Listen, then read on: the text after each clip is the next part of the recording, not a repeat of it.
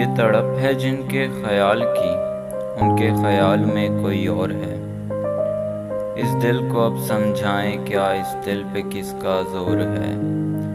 इस रात की तन्हाई में न जाने कैसा शोर है।